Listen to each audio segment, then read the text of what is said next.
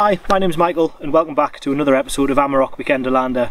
This week we're going to do something a little bit different in this episode and we're going to talk about 3D printing but still in relation to overlanding and camping.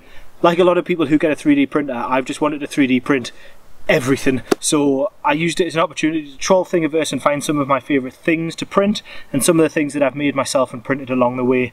If you don't have a 3D printer, there are plenty services out there that you can use to send a design off and get printed, or you'll be surprised to know that they're actually quite cheap, but also you will probably know somebody with one. They're becoming a lot more prevalent now. So, without further ado, let's get into it and have a look at some of my 10 favourite things that I printed in relation to um, camping and overlanding. These are all sort of luxuries and not necessities, but they are things that I've just decided to print along the way, really liked and thought I'd put them in a collection for you. All the links for the things are in the description below. So please feel free to download them and print them at your pleasure and let me know if there's anything that you think I'm missing that I should print as well.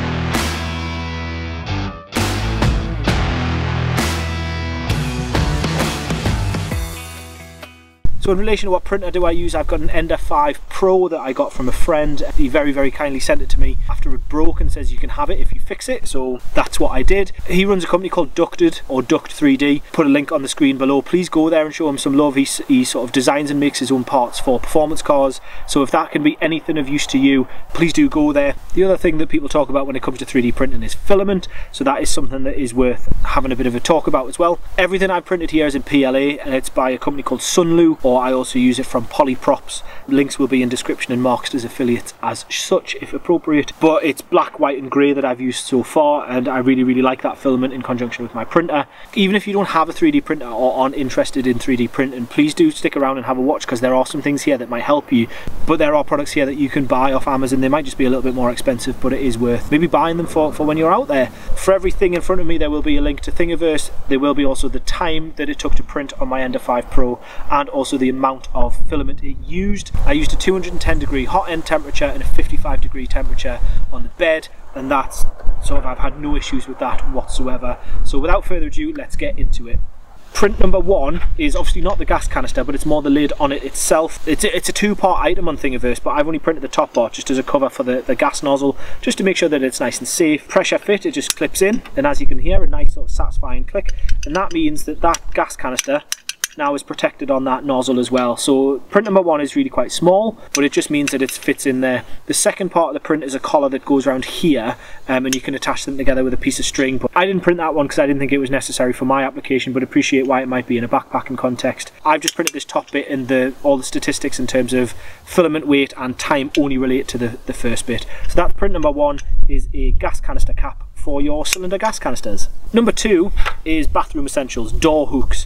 Some of the campsites that we go to, there's just not enough hooks to hang your stuff on when you're in the shower. I originally started with this one. It's not very strong, so I'm not going to include the link to that one, but I am going to include the link to this one. It is so strong. I printed it with a 50% infill on this one, just so that it was a bit stronger and it fits most doors in the UK, and it just means that I've got an extra something to hang my clothes on or my wash bag on, and what I do actually do is I'm going to have a couple of these in my wash bag at all times and it just means that I've always got somewhere to hang both my towel, my wash bag, my dry clothes and my dirty clothes.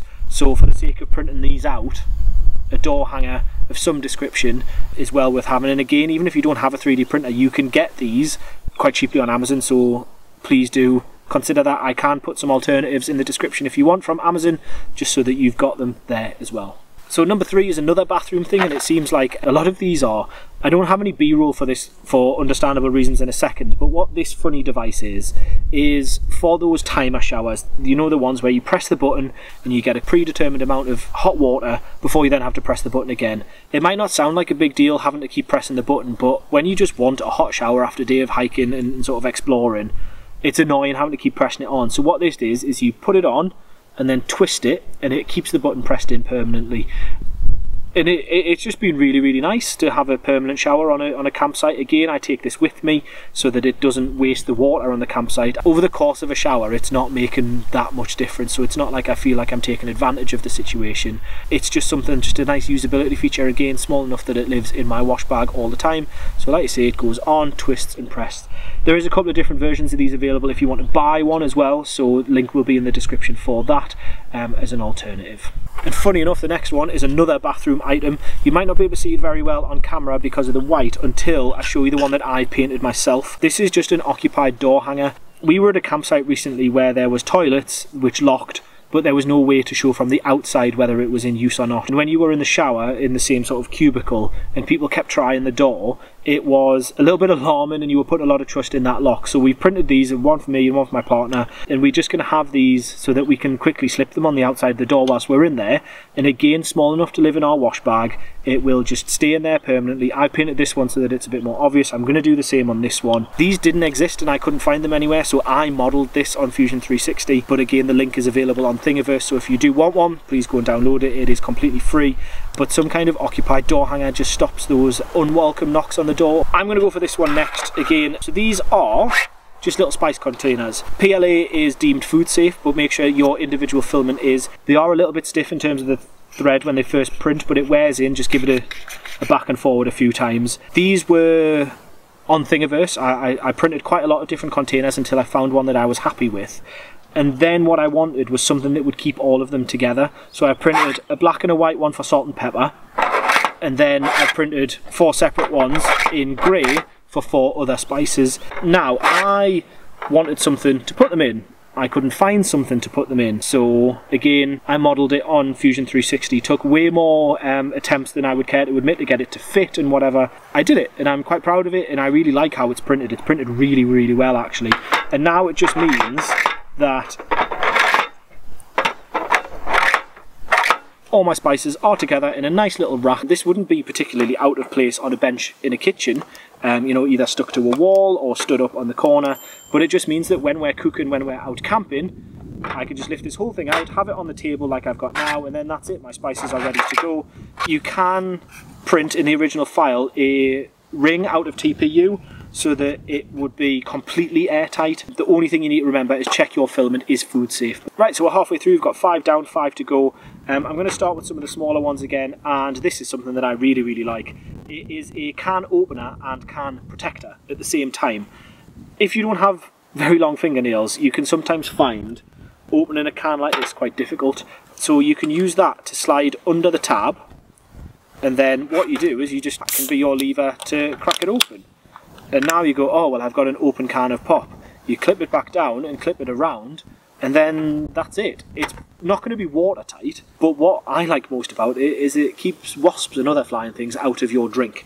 For the rest of today's filming, I'm going to leave that on so that I don't have to worry about any flies getting in my drink. Um, and then when you do want to drink, you just spin it round and then that's it. But it kind of locks into the, the can quite nicely. There are other sort of clip-on things that you can get, which I have got, and, and again, we'll provide a link in the description for, provide a similar sort of solution to that problem. But if you've got a 3D printer, a couple of pence, and you're done and sorted with that. So that's that one, a little can defender and can opener. So next up is a bit of a party print, and that is a shotgun tool for beer and cans and things like that.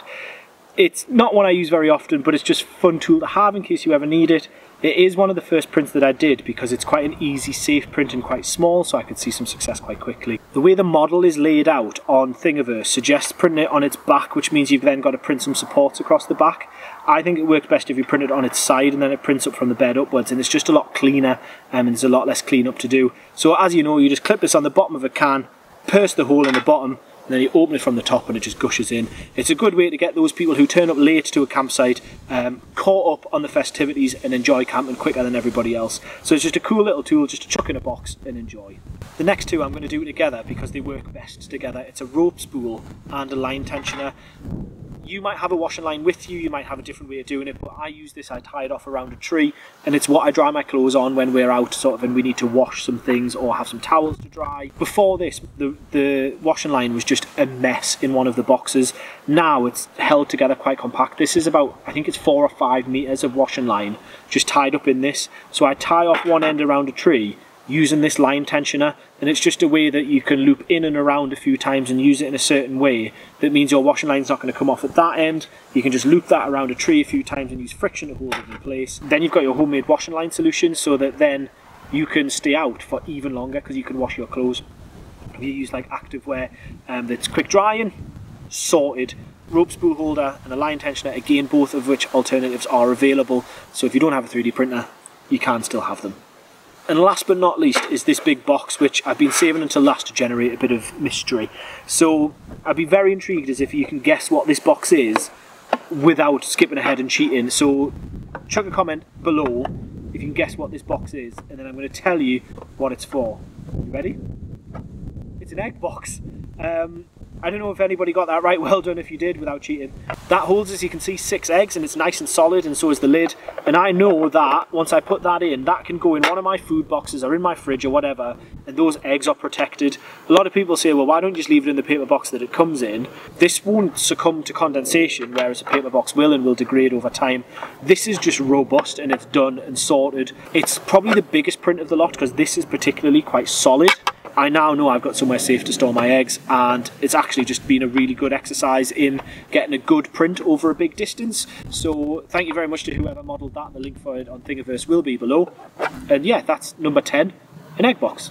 So there you have it, there are 10 overland and adventure 3D prints that you could use to maybe improve your experience around your campsite and from your vehicle. None of these are essential, all of these are available as alternatives. So, if you don't have a 3D printer, jump in the description below and there'll be links to alternatives that uh, can maybe help you on your way to getting them 3D printer is a great tool for a lot of different reasons and it is something that I'm really really enjoying exploring and sort of modelling and designing things from there. So keep an eye out. There might be something coming in the future. So thank you very much for watching. I appreciate this is a bit different from normal but sort of normal service will be resumed. Please feel free to share this amongst anybody you think that might like it. So hit that subscribe button if you think I've earned it as well as a like rating and a comment. All of those are things that you can do for free that would really help this channel grow and help me make these videos keep going forward in the future. And if nothing else, remember the best adventures are had outdoors, so let's get out there and have some fun. Cheers, bye bye.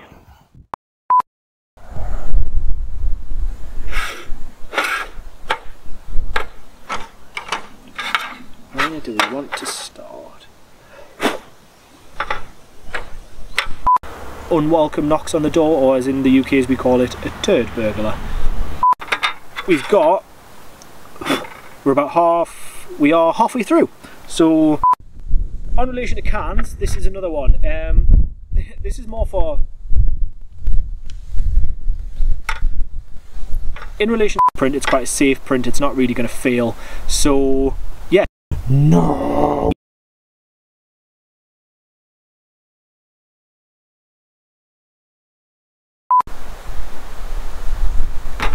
Next two I'm going to do together because they kind of work best together. It's a rope tool and the next two I'm going to do together because they work best together. It's a rope spool and a line tensioner.